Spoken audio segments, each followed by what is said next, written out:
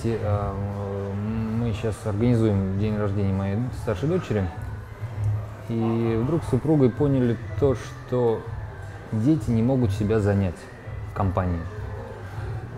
То есть раньше мы, когда приходили на день рождения к кому-то вместе с родителями, родители сидели в одной комнате, мы сидели в другой комнате, и нам было чем себя занять. Мы придумали какие-то игры, мы очень здорово проводили это время. Эти дни рождения, в общем, всегда радовались, когда это случалось, когда у тебя есть два сверстника, два-три сверстника, и ты с ними можешь сыграть во что угодно придумывать, ну, проводить время, настольные игры, что угодно можно было придумать. А сейчас дети без аниматора не могут себя занять. То есть без какого-то специального развлекающего человека не могут, им скучно друг с другом, они не могут общаться, вот они встречаются, и они не могут общаться. Конечно, э, э, я сам подвержен ну, всем этим гаджетам, как и большинство.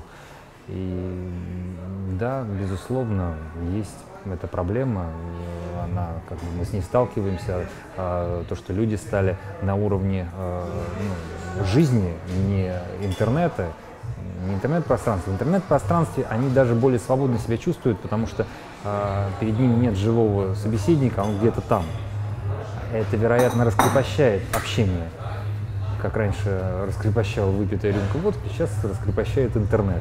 Но когда они видят перед собой живого человека, тут происходят реальные проблемы для многих э, детей.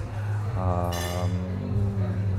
я понимаю, что да, это, это, это проблема. А что касается э, ну, психических каких-то отклонений у детей, у подростков, я думаю, что это общее напряжение, которое существует в обществе, оно давит, э, давит на родителей, родители давят на детей никуда от этого не деться.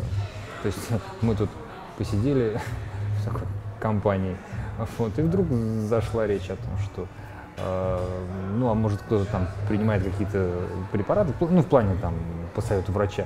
Выяснилось, что за столом многие, да, ходят, э, ну, сейчас это к психологу, да, и, и психологи, да, для поддержки человека, ну, как бы настроения, как бы, для поддержки там, состояния человека, как бы предлагают какие-то препараты. И многие в компании да, принимают препараты, не знаю, там, легкие, нелегкие, я не в курсе, но какие-то препараты принимают. То есть даже у обычных нормальных людей есть какие-то все равно отклонения.